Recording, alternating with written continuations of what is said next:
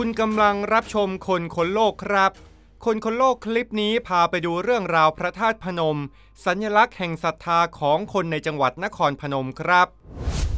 ณ องค์พระธาตุพนม ปูชนียสถานที่สำคัญที่สุดแห่งภาคตะวันออกเฉียงเหนือของประเทศไทย และเป็นพระธาตุแห่งมหาศรัทธาของพี่น้องชาวลาว ที่ศักดิ์สิทธิ์สมคำร่ำลือมานานกว่า 2,000 ปี พระธาตุพนมถูกสร้างขึ้นและประดิษฐานบนผืนแผ่นดินไทยมาเป็นเวลานานกว่า 2,500 ปี สร้างอยู่บนเนินที่เรียกว่าภูกำพร้าซึ่งปัจจุบันคือบริเวณวัดพระธาตุพนมวรมหาวิหารอำเภอธาตุพนม ซึ่งอยู่ห่างจากตัวเมืองนครพนม 52 กิโลเมตร มีความเชื่อกันมาว่าพระธาตุพนมถูกสร้างขึ้นตั้งแต่สมัยอาณาจักรศรีโคตรบูรณ์เมื่อประมาณพศ 8 โดยมีเท้าพญาทั้ง 5 เป็นประธานในการก่อสร้าง ท้าวพญาทั้ง 5 นี้เป็นเจ้าผู้ครองนครในแคว้นต่างๆ คือ 1. พญาจุลนีพรหมทัตครองแคว้นจุลนีเป็นผู้ก่อด้านตะวันออก 2. พญาอินทปัตนคร ครองเมืองอินทปัตนคร หรือแคว้นกัมพูชาโบราณเป็นผู้ก่อด้านใต้ 3. พญาคำแดง ครองเมืองหนองหานน้อย ซึ่งปัจจุบันคืออำเภอหนองหานอุดรธานี ก่อด้านตะวันตก 4. พญานันทเสนครองเมืองสีโคตรบูรณ์เป็นผู้ก่อด้านเหนือ 5. พญาสุวรรณพิงคารครองเมืองหนองหานหลวง คือจังหวัดสกลนครในปัจจุบัน เป็นผู้ก่อรวมยอดเข้าเป็นรูปฝาละมี ลักษณะพระธาตุองค์เดิมใช้ดินดิบก่อขึ้นเป็นรูปเตาลักษณะสี่เหลี่ยม แล้วเผาให้สุกทีหลัง มีด้านกว้างด้านละสองวา สูงสองวา ข้างในเป็นโพรง มีประตูเปิดปิดทั้งสี่ด้าน พระธาตุพนมถูกสร้างขึ้นเพื่อบรรจุพระอุรังคธาตุคือกระดูกส่วนหน้าอกขององค์สัมมาสัมพุทธเจ้า ที่พระมหากัสปะเถระอัญเชิญมาจากประเทศอินเดีย เมื่อแรกบรรจุเสร็จ ยังไม่ปิดประตูองค์พระธาตุให้ปิดสนิท เมื่อพุทธศักราช 500 พระมหากัสสปะ ก็ได้อัญเชิญพระอุรังคธาตุเข้าบรรจุภายในที่อันสมควร แล้วปิดประตูอุโมงค์ไว้ทั้ง 4 ด้าน โดยสร้างประตูด้วยไม้ประดู่ใส่ดานปิดไว้ทั้ง 4 ด้าน แล้วให้คนไปนำเอาเสาศิลาจากเมืองกุสินาราหนึ่งต้น มาฝังไว้ที่มุมเหนือตะวันออก แปลงรูปอัศมุขี หรือยักษินีหน้าเป็นม้า ไว้โคนต้น เพื่อเป็นหลักชัยมงคลแก่บ้านเมืองในชมพูทวีป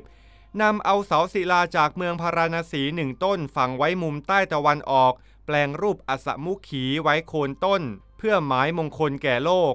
นำเอาเสาศิลาจากเมืองตักศิลาหนึ่งต้น ฝังไว้มุมเหนือตะวันตก พญาสุวรรณพิงคาระได้สร้างรูปม้าอาชาในไว้ตัวหนึ่ง หันหน้าไปทางทิศเหนือ เพื่อแสดงว่าพระบรมธาตุเสด็จออกมาทางทิศทางนั้น และพระพุทธศาสนาจักเจริญรุ่งเรืองจากเหนือเจือมาใต้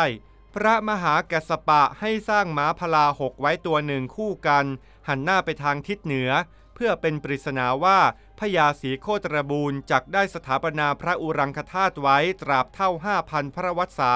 เสาอินทขีละศิลาทั้งสี่ต้นยังปรากฏอยู่สองต้นทางทิศตะวันออก ส่วนอีกสองต้นได้ก่อหอระฆังหุ้มไว้ ส่วนม้าศิลาทั้งสองตัวก็ยังปรากฏอยู่ถึงปัจจุบัน ต่อมาได้มีการก่อสร้างเพิ่มเติม จนพระธาตุพนมมีลักษณะเป็นเจดีย์ทรงบัวเหลี่ยม หรือทรงแจกัน ก่อด้วยอิฐ มีลวดลายจำหลักลงไปในแผ่นอิฐมีซุ้มขั้นด้านละซุ้มซ้อนกันสามชั้น ลดหลั่นกันลงมาอย่างวิจิตร พระธาตุพนมได้รับการบูรณะเรื่อยมาตามการเวลา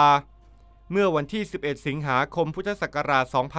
2518 สิ่งที่ไม่มีใครคาดฝันก็เกิดขึ้น เป็นข่าวใหญ่ที่สั่นคลอนสะเทือนความศรัทธาของพุทธศาสนิกชนชาวไทยไปทั่วทั้งประเทศ เมื่อองค์พระธาตุพนมได้หักโค่นล้มลง เนื่องจากได้เกิดฝนตกติดต่อกันหลายวัน ประกอบกับมีลมพายุพัดกันโชกแรง จึงเป็นผลให้องค์พระธาตุพนมที่เก่าแก่และผุพังอยู่ก่อนแล้ว ได้พังทลายลงมาทั้งองค์ เมื่อเวลาประมาณ 17 นาฬิกา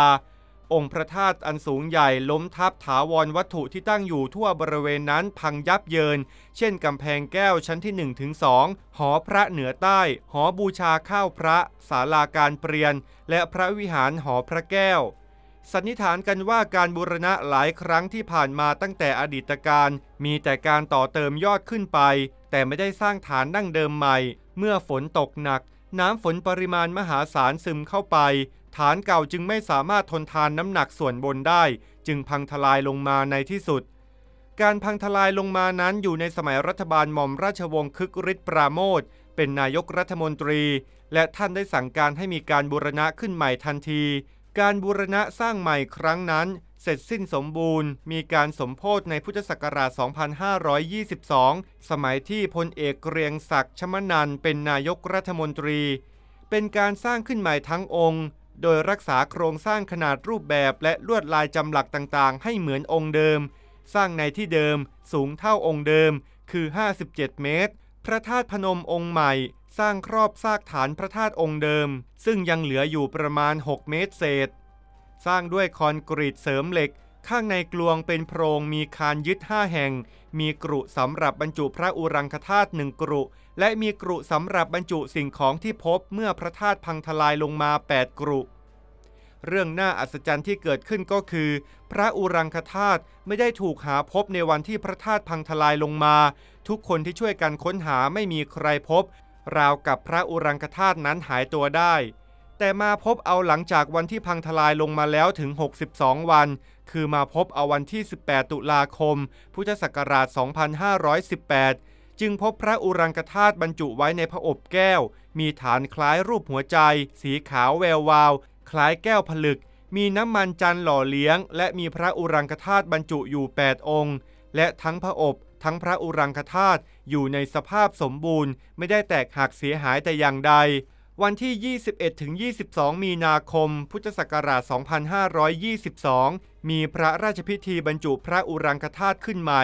โดยพระบาทสมเด็จพระเจ้าอยู่หัวรัชกาลที่ 9 และสมเด็จพระนางเจ้าสิริกิติ์เสด็จพระราชดำเนินมาทรงบรรจุพระอุรังคธาตุด้วยพระองค์เอง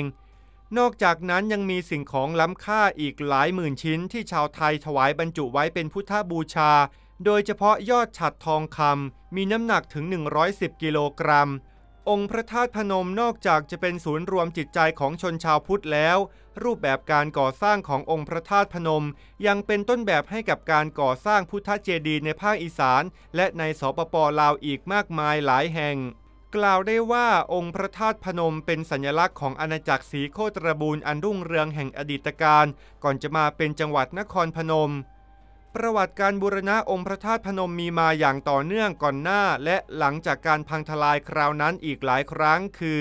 ครั้งที่ 1 พุทธศักราช 500 พญาสุมิตรธรรมวงศาแห่งเมืองมรุกนคร และพระอรหันต์ห้าองค์ เป็นพระประธานในการบูรณะ เติมยอดพระธาตุองค์เดิมขึ้นไปอีกประมาณ 24 เมตร แล้วอัญเชิญพระอุรังคธาตุจากที่บรรจุไว้ตั้งแต่สมัยพระมหากัสสปะเถระนำไปประดิษฐานใหม่ที่ใจกลางพระธาตุชั้นที่สองซึ่งครั้งนี้ได้มีการปิดประตูองค์พระธาตุอย่างมิดชิดถาวร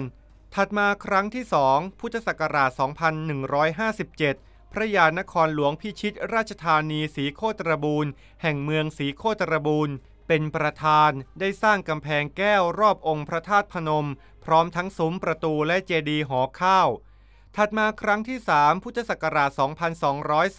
2236 ถึง 2245 มีพระครูหลวงโพนทเมกแห่งเมืองนครเวียงจันทร์เป็นประธาน ได้ใช้อิฐต่อเติมขึ้นไปจนองค์พระธาตุสูง 47 เมตร ปรับปรุงที่ประดิษฐานพระอุรังคธาตุใหม่ บรรจุพระพุทธรูปเงินทอง แก้วมรกตและอัญมณีต่างๆไว้ และจารึกชื่อไว้ว่าธาตุประนม ถัดมาครั้งที่ 4 ในปีพุทธศักราช 2350 ถึง 2356 มีเจ้าอนุวงศ์แห่งเวียงจันทร์เป็นประธาน ได้ทำฉัดใหม่ด้วยทองคำประดับด้วยเพชรพลอยสีต่างๆ ได้ทำพิธียกฉัดขึ้นสู่ยอดพระเจดีย์เมื่อพุทธศักราช 2356แต่ฉัดนี้ได้นำลงมาเก็บรักษาไว้ที่วัดพระธาตุพนม เมื่อปีพุทธศักราช 2497 ถัดมาครั้งที่ 5 พุทธศักราช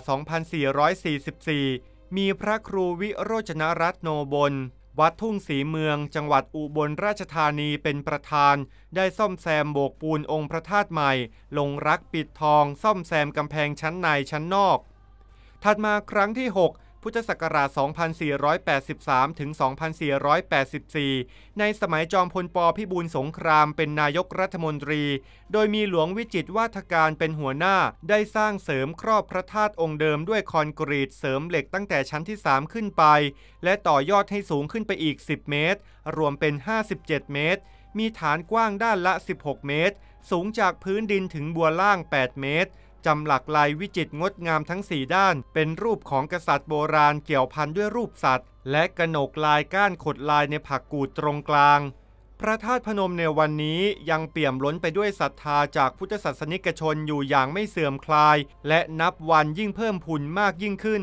ดินแดนแห่งนครพนมขึ้นชื่อลือนามมาแต่อดีตแล้วว่าเป็นดินแดนแห่งพระธาตุ และพระบรมสารีริกธาตุมากมาย เปี่ยมล้นไปเกือบจะท่วทั่วในทุกอำเภอ มีพระธาตุถูกสร้างและประดิษฐานครบทั้ง 12 ปีเกิด และครบทั้ง 7 วัน นครพนมอีกนัยยะหนึ่งถือได้ว่า คือดินแดนแห่งความศักดิ์สิทธิ์ที่ยืนยงมาเป็นเวลานานหลายพันปี และสิ่งต่างๆ ทั้งหมดทั้งมวลเหล่านั้น จะยืนยาวต่อไปตราบอีกนานเท่านาน โบราณวัตถุที่สำคัญและน่าสนใจในวัดพระธาตุพนม กลองมโหระทึก ตั้งอยู่ภายในศูนย์วัฒนธรรมวัดพระธาตุพนม มีเส้นผ่าศูนย์กลางประมาณ 57 เซนติเมตร ลวดลายของกลองมโหระทึกใบนี้ เหมือนที่พบในประเทศเวียดนาม อายุประมาณพุทธศตวรรษที่ 1-5 มีการค้นพบอีกหนึ่งใบ ในท้องที่อำเภอนาแก จังหวัดนครพนมขณะนี้เก็บไว้ที่พิพิธภัณฑ์สถานแห่งชาติขอนแก่น มีอายุและขนาดไล่เลี่ยกับใบที่พบที่ธาตุพนม ใบเสมาหินทราย ชุมชนชาวพุทธที่ใช้ใบเสมาเป็นกลุ่มชนที่ตั้งถิ่นฐานบริเวณสองฝากลำน้ำกำอยู่ในพื้นที่เขตอำเภอนาแกอำเภอธาตุพนม ลักษณะคล้ายใบหอกป้าน มีลายสลักรูปสันนูน แหล่งโบราณคดีที่พบที่บ้านทูบ้านโปร่ง บ้านหลักศิลาเป็นต้น เสาอินทขีละทำจากศิลาทราย ในตำนานกล่าวไว้ว่าเท้าพญาทั้งห้าที่ริเริ่มสร้างองค์พระธาตุพนมนั้น ได้ให้คนไปนำมาจากที่ต่างๆ รวมกันสี่ต้น แล้วฝังไว้ในบริเวณรอบๆ พระธาตุทั้งสี่มุม ดังที่กล่าวไปแล้ว ยังมีโบราณวัตถุที่สำคัญอีกคือประติมากรรมรูปม้า ตามตำนานกล่าวว่าถึงม้าพลาหกและม้าอาชาในที่สลักจากศิลาพบที่วัดพระธาตุพนม เวลานี้อยู่ข้างบันไดทางขึ้นวิหารหอพระแก้ว ม้าดังกล่าวมีรูปแบบศิลปกรรมเฉพาะถิ่นต่างไปจากชุมชนโบราณแห่งอื่น เรียกว่าแบบนี้มีเฉพาะสองตัวนี้เท่านั้น ประติมากรรมรูปสิงห์หรืออาจมุขี พบที่วัดพระธาตุพนม ที่โคนเสาอินทขีละต้นที่ 1 และ 2 เป็นศิลปกรรมเฉพาะถิ่น ไม่เคยพบในชุมชนโบราณแห่งอื่น ๆ นอกจากนี้ยังพบเหรียญเงินฟูนัน เป็นเหรียญโลหะเล็ก ๆ พบบริเวณกำแพงแก้ว และเหรียญฟูนันแบบเดียวกันนี้ได้พบที่เวียดนามชายฝั่งทะเล อายุราวพุทธศตวรรษที่ 13ถึง18 ช่วงสมัยลบบุรี และยังพบพระพิมพ์ดินเผาอีกเป็นจำนวนมาก พระธาตุพนมเป็นพระธาตุประจำปีเกิดของคนเกิดปีวอก และเป็นพระธาตุประจำวันเกิดของคนเกิดวันอาทิตย์ มีพระคาถาบูชาชื่อคาถาพระนารายณ์แปลงรูป ใช้ทางเมตตามหานิยม ให้สวดภาวนาวันละหกจบ ใครได้ไปนมัสการซึ่งแม้ว่าจะไม่ได้เกิดปีวอก หรือเกิดวันอาทิตย์ก็ตาม เชื่อว่าจะได้รับอนิสงบุญบารมี และผู้คนให้ความเคารพนับถือ สิ่งของบูชาพระธาตุประกอบด้วยข้าวตอกน้ำอบข้าวเหนียวปิ้ง ดอกไม้สีแดง ทูบหกดอกและเทียนสองเล่ม ทั้งหมดคือเรื่องราวที่นำมาฝากกันในคลิปนี้ ขอบคุณเรื่องราวจากเจนจบยิ่งสุมน ภาพถ่ายบางส่วนจากอิสรชนพงไพร และขอบคุณข้อมูลจากเว็บไซต์ ngthai.com อย่าลืมกดไลค์ กดติดตามและกดแจ้งเตือน เพื่อไม่พลาดสาระคดีดีๆ แบบนี้ครับ